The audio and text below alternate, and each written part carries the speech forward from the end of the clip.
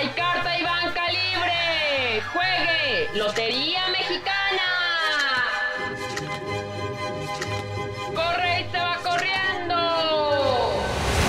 Petróleos Mexicanos, Pemex, empresa del Estado, que aporta hasta un 29% de los ingresos del gobierno federal y que hace una década eran del 40% aproximadamente, vive lo que los expertos consideran el peor momento de sus 78 años de vida. La crisis de Pemex, en lugar de aminorar con la reforma energética, que se nos vendió como la gran solución a todos sus males, amenaza con llevarla a la insolvencia. Al seguir siendo la principal proveedora de recursos fiscales para el Estado, al grado de que se ha tenido que endeudar para cumplir con el pago de impuestos a Hacienda. Una deuda que dentro de poco será impagable. 2 billones 295 mil 249 millones de pesos. Son muchas las razones por las que Pemex está quebrada. La primera, sin lugar a dudas, es el total, el brutal saqueo de los recursos por parte del gobierno federal desde hace muchas décadas. Estamos en la víspera de terminar con el sueño de Lázaro Cárdenas que nació un 18 de marzo de 1938. Se declaran expropiados por caso de utilidad pública y a favor de la nación la maquinaria, instalaciones, edificios, oleoductos, refinerías, tanques de almacenamiento, vías de comunicación, carros tanques, estaciones de distribución, embarcaciones y todos los demás bienes muebles e inmuebles de propiedad de las empresas que a continuación se enuncian. Compañía Mexicana de Petróleo El Águila, Sociedad Anónima, Compañía Naviera San Cristóbal, Sociedad Anónima, Compañía Naviera San Ricardo, Sociedad Anónima, Huasteca Petroleum Company, Sinclair Pierce Oil Company, Richmond Petroleum Company, California Standard Oil Company, Compañía Petrolera El Agui, Sociedad Anónima, Compañía de Gas y Combustible Imperio, Consolidated Oil Company, Compañía Mexicana de Vapores San Antonio, Sociedad Anónima, Sábalo Transportation Company, Clarita Sociedad Anónima. Y Cacalilao Sociedad Anónima. Esta situación ha obligado al gobierno a subastar prácticamente lo poco que queda a empresas extranjeras, con el argumento de la coinversión para salvar a Pemex. El informe anual del 2015 está muy claro. La reducción de sus ventas de un 28%, un 19% de aumento en el costo de la producción y en total pérdidas de 522 mil millones de pesos, casi el doble de lo registrado en el 2014. También la reducción de barriles diarios, la producción de barriles diarios ha ido bajando brutalmente. De 3 a 4 barriles que se producían anteriormente a 2.2 millones de barriles diarios hasta el día de hoy y que bajará a 2 millones de barriles diarios a finales de este año. La reserva de Cantarell en la sonda de Campeche, que aporta el 45% aproximadamente, se está secando. Ve usted el siguiente cuadro y dígame, dígame si Pemex no está quebrada. Ha habido pérdidas en los últimos años. En el 2013 cerró con una pérdida de 163.100 millones de pesos. En el 2014 cerró con una pérdida de 263.819 millones de pesos. En el 2015 cerró con una pérdida de 521.600 millones de pesos. A esto agréguele el recorte presupuestal para el próximo año, una reducción de 46.800 millones de pesos en exploración y perforación y producción. Si esto no es estar quebrado, dígame entonces qué rayos, de qué rayos estamos hablando.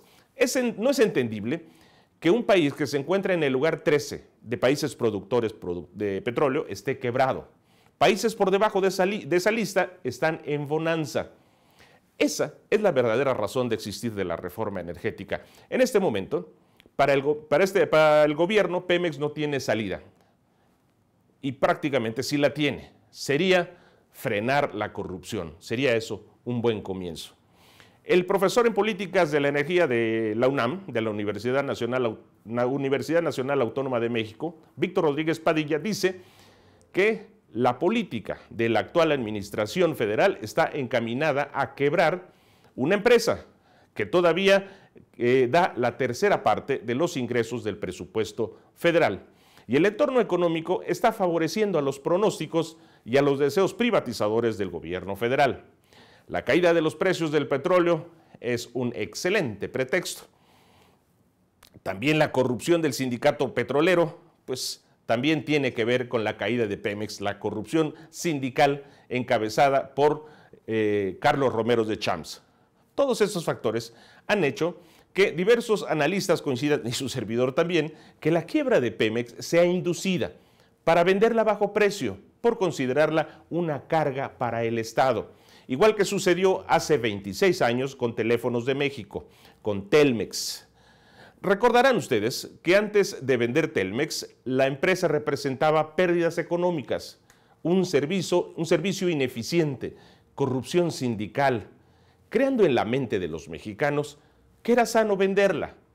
beneficiaría más al país venderla a un buen precio. Salinas y su neoliberalismo señalaba que el Estado debería ser regulatorio y no dueño de empresas, cuando la solución era, aunque suene repetitivo, combatir la corrupción y sanear la institución. Salinas termina, vendiéndola en septiembre de 1990 a Carlos Slim Elú. Una venta con demasiados cuestionamientos en ese momento. Slim no fue la oferta más alta. Una empresa inglesa fue la que ofreció mejor precio. Además, se modificó la ley para favorecer a Slim. Si no hubiera sido por Salinas, no se le hubiera entregado ese monopolio de larga distancia a Carlos Slim, para lo cual se tuvo que modificar la ley de vías de, de comunicación. Los monopolios privados están prohibidos por el artículo 28 de nuestra Constitución. Solo, y tan solo partiendo de ahí, es ilícita cualquier privatización en México. Es por eso que se dice que el verdadero dueño de Telmex es Carlos Salinas. Inclusive, en esos años se decía que el verdadero nombre de Telmex era Charlie San Charles, que era el nombre de un famoso restaurante, un restaurante bar de esos años allá en México. Y también en esos años, Cuauhtémoc Cárdenas metió una denuncia por fraude, una denuncia bien sustentada. Obviamente no progresó. Y así se realizó el gran fraude de la venta de Telmex en 1990, que favoreció a Slim y a su verdadero patrón, Carlos Salinas, el mismo patrón del hoy presidente de la República. ¿Harán lo mismo con petróleos mexicanos? José Antonio González Anaya, el actual director general de Pemex, es esposo de Gabriela Gerard, hermana de Ana Paula Gerard, esposa de Carlos Salinas de Gortari. O sea, González Anaya y Salinas son concuños. Más datos. La carrera de González Anaya inició en el sexenio de Carlos Salinas. Es un tecnócrata del salinato, lo que me hace pensar que la historia de Pemex está ligada a la historia de Telmex. Sinceramente, ojalá me equivoque. Muchas gracias. Hasta la próxima lotería. ¡Hay carta y banca libre! ¡Juegue! ¡Lotería Mexicana!